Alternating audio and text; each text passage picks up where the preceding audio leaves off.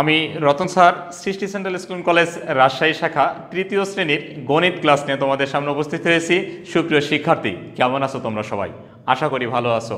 আমরা আজকে তোমাদের মূল শীটের দুই নম্বর যোগ্যতা ভিত্তিক অর্থাৎ সৃজনশীল প্রশ্ন নিয়ে আলোচনা করব। তো চলো, শিক্ষার্থী বন্ধুরা, আর দেরি না করে আমরা শুরু করি। আজকে দুই নম্বর সৃজনশীলে যা আছে, আমি আগে একটু প্রশ্নটা তুলে দিই, তোমরা একটু দেখো, তারপরে নিজেরা একটু চিন্তা করো, তারপরে অঙ্ক করি। কেমন? আচ্ছা। দুই নম্বরে যে প্রশ্নটি আছে, আমি একটু তুলে দিচ্ছি, বাবা, একটু মনোযোগ দিয়ে দেখো।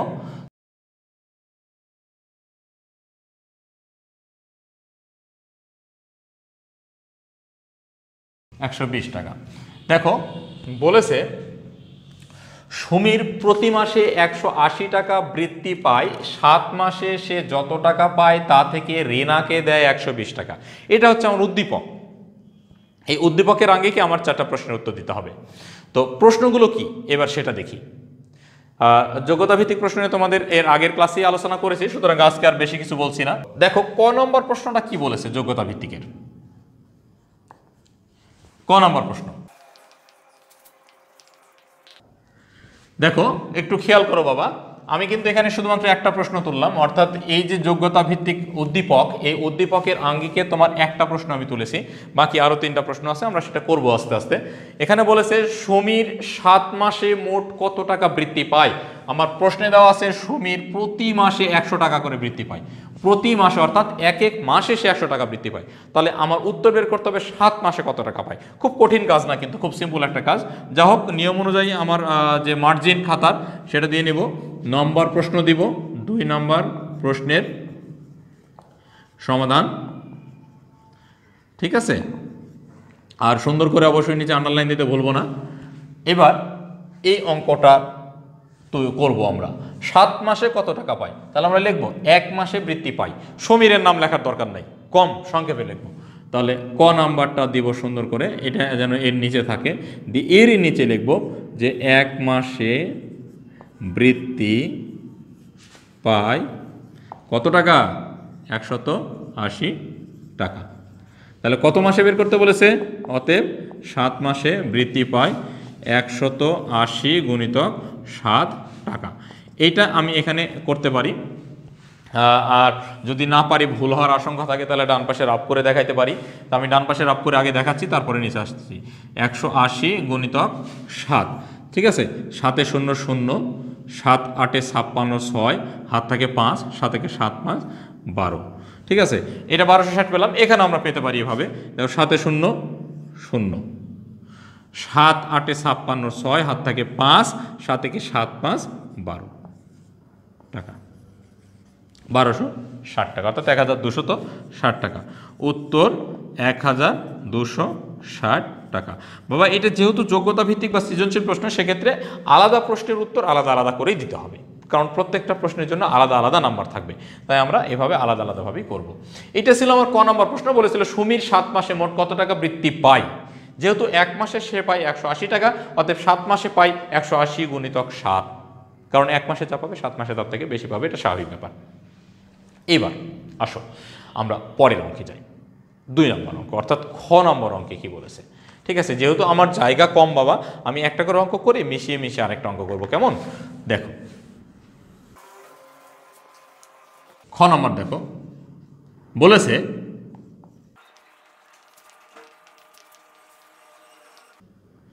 থাকে। বলেছে, দেখো, মোট টাকা থেকে একশো বিশ টাকা ঋণাকে দিলে কত টাকা অবশিষ্ট থাকে? মোট টাকা। মোট টাকা কই? মোট টাকা কত? পেয়েছি না আমরা এক নম্বরে। এই যে সাত মাসে যে বৃত্তির টাকাটা পাচ্ছে, সেটা হচ্ছে তার মোট টাকা। তাই তো? সাত মাসে সে যত টাকা পায়, তা থেকে ঋণাকে দেয় একশো বিশ টাকা। তাহলে সাত মাসে যে টাকাটা পাইলো, সেটাই হচ্ছে তার মোট টাকা। এখন আমাকে প্রশ্ন করেছে, মোট টাকা থেকে একশো বিশ টাকা ঋণাকে দিলে কত টাকা থাকে? তাহলে মোট টাকা আমাকে আগে জানতে হবে, তাই না? তাহলে মোট আছে বা সমীরের মোট টাকা বা সমীরের মোট আছে, লেখো। সমীরের মোট আছে, সাত মাসে পেয়েছিলাম কত? বারোশো ষাট টাকা, তাই তো? আর রিনাকে দেয় কত টাকা? রিনাকে দেয় কত টাকা? একশত বিশ টাকা। ঠিক আছে? এটা আমরা বিয়োগ করব। বলেছে কি? কত টাকা অবশিষ্ট থাকে? তাহলে আমি ওই কথা লিখে দেব। অতএব অবশিষ্ট থাকে এখানে লিখে দিব। শূন্য শূন্য বিয়োগ করলে শূন্য। দুই আছে কত হলে ছয় হয় চার, কত হলে দুই হয় একে। হাতে থাকে না, এক নেমে যায়। এগারোশো চল্লিশ। এটা হচ্ছে রিনাকে দেওয়ার পর তার অবশিষ্ট থাকল। তাহলে উত্তর আমরা লিখে দেব এগারোশো চল্লিশ। টাকা। আরেকবার দেখো, শূন্য শূন্য মিলে গেল শূন্য। দুই আছে কত হলে ছয় হয় চারে, এক আছে কত হলে দুই হয় একে, এক নেমে গেল এগারোশত চল্লিশ টাকা। ওকে? এরপরে আমরা করব গ নম্বর প্রশ্ন। ক, খ, গ, ঘ, ঠিক আছে? তাহলে আমি মিশিয়ে দিচ্ছি।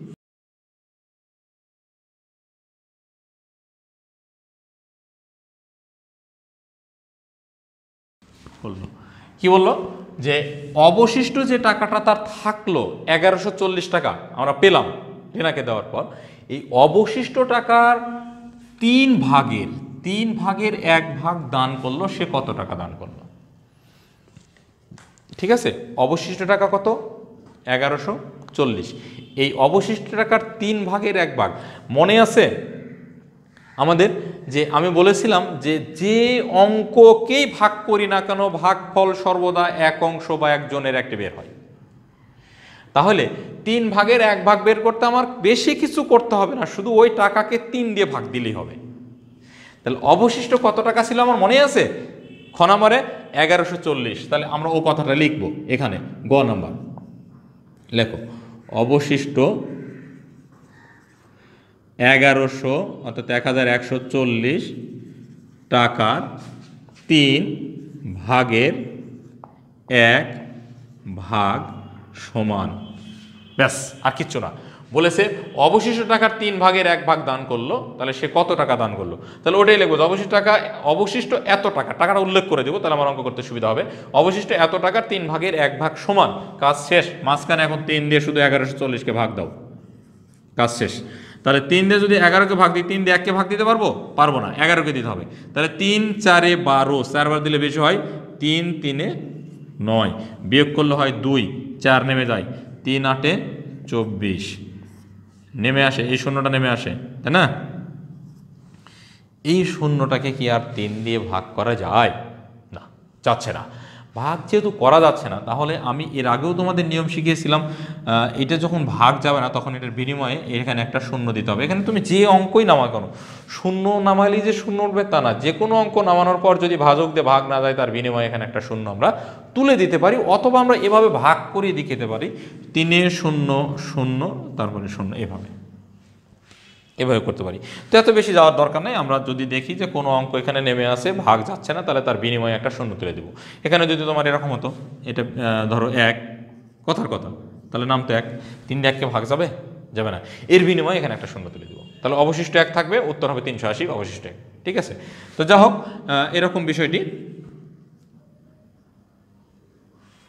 আচ্ছা এইটা গেল আমার গ নম্বর অঙ্ক।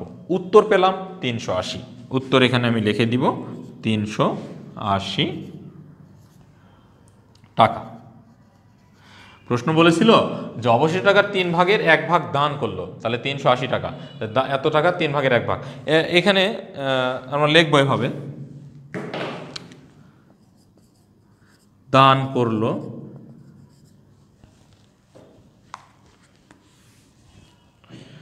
এরপরে আমরা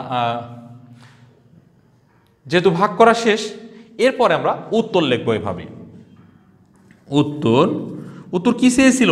সে তিন ভাগের এক ভাগ দান করল, তাহলে আমরা লিখে দিব, দান করল কত টাকা?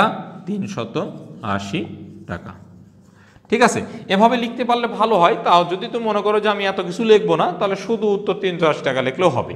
যেহেতু এখানে আমি দান করার বিষয়টা নিয়ে আসিনি অঙ্কের মধ্যে, তাই এখানে আমি আলাদা করে এখানে লিখে দিলাম। এটাই লিখে দিবা, ঠিক আছে? এটা হচ্ছে গ নম্বর অঙ্ক। এরপরে আমরা চলে যাব ঘ নাম্বার অঙ্কে, ঠিক আছে?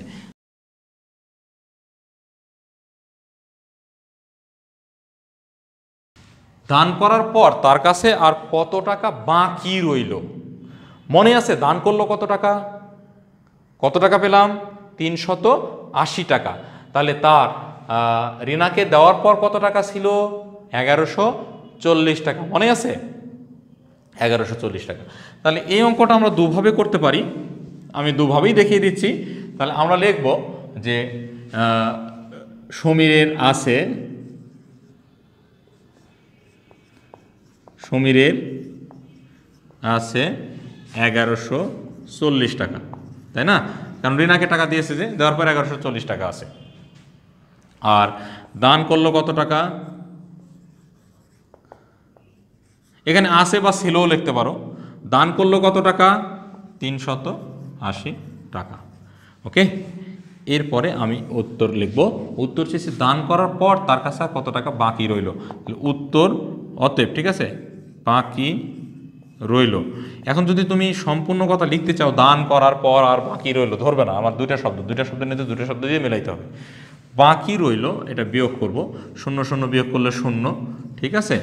আর আট আছে কত হলে চারকে চোদ্দ ধরবো, ছয়ে, হাত থাকে এক, চার আছে কত হলে এগারো হয়, সাতে, হাতে থাকে এক এক, একে মিলে গেল বামে শূন্য পড়ে না। তাহলে পাইলাম আমরা সাতশত ষাট। আবারও দেখিয়ে দিচ্ছি, শূন্য শূন্য বিয়োগ করলে হয় শূন্য আছে কত হলে চোদ্দ হয় ছয়ে, হাত থেকে এক, তিন আর একে চার আছে কত হলে এগারো হয়, চার সাতে আর হাতের থাকে এক এক, একে মিলে গেল বামে শূন্য পড়ে না সাতশত ষাট। এখানে আমরা সুন্দর করে লিখে দেব, উত্তর সাতশত ষাট টাকা। এই অঙ্কটা তোমরা এক লাইনেও করতে পারো। এক লাইনেও করতে পারো। কীভাবে? বলেছে দান করার পর তার কাছে আর কত টাকা রইল? তুমি লিখবা, দান করার পর আর রইল। কীভাবে? দেখো আমি এখানে দেখিয়ে দিচ্ছি তোমাকে। এটা অথবা ঘ নম্বর। দান করার পর রইল, এটা সংক্ষেপে ধরাই এটা এখানে অবশ্য। দান করার পর রইল, এগারোশত চল্লিশ। এটা মনে রাখতে হবে আবার উপরে দেখে নিব, এগারোশত চল্লিশ বিয়োগ তিনশো আশি। এখানে বিয়োগ করে পাবো আমরা সাতশত ষাট টাকা। তারপরে এখানে উত্তর লিখে দিব, উত্তর সাতশত ষাট টাকা। ওকে এভাবেও করতে পারি। আমরা এভাবেও করতে পারি, এভাবেও করতে পারি। তুমি যেভাবে স্বাচ্ছন্দ্য বোধ করো। ঠিক আছে? নো প্রবলেম আমি বলেছি সৃজনশীল যত কম কথা লিখে বোঝানো যায়, তবে হান্ড্রেড পার্সেন্ট বুঝাইতে হবে। এখানে আমি বলে দিয়েছি, কিন্তু দান করার পর রইল যখন তুমি ফাইভ বা সিক্স বা নাইন টেনে উঠবা, অর্থাৎ বড় উঁচু ক্লাসে উঠবা, তখন কিন্তু এখানে আরও ব্যাখ্যা দিয়ে লিখতে হয়। এই যে তুমি এগারোশো চল্লিশ হুট করে কোথা থেকে নিয়ে এসে লিখলা? তাই না? তিনশো আশি, কোথা থেকে আসলো? এটা আমাদের বলে দিতে হয় যে ক হতে পায় বা খ হতে পায়। মানে তুমি যে প্রশ্নের উত্তর পেয়েছ এটা, যেখান থেকে আমি এগারোশো চল্লিশটা নিলাম, ওখানে উল্লেখ করে দিতে হয় যে গ হতে পাই খ হতে পাই দিয়ে তারপরে লিখতে হয়। আমি কিন্তু এত কিছু লিখলাম না, শুধু ডিরেক্ট উত্তর করে দিলাম, অঙ্ক করে দিলাম। যেহেতু তোমরা ছোট মানুষ, এখন কেবল তোমরা সৃজনশীল শিখছো। তো যা হোক, আমার প্রিয় শিক্ষার্থী বন্ধুরা, আজকের আয়োজন ছিল আমার এতটুকুই। নিশ্চয়ই ভালো লেগেছে। আশা করি পরবর্তী ক্লাসেও আমার সঙ্গে যুক্ত থাকবা। আর তোমাদের সমস্যা নিয়ে আমার সঙ্গে কথা বলবা। ভালো থেকো। আজকে এ পর্যন্তই। আবারও কথা হবে তিন নম্বর সৃজনশীল নিয়ে পরবর্তী ক্লাসে। ততদিন অবধি সবাই সুস্থ থেকো, সুরক্ষিত থেকো। ধন্যবাদ।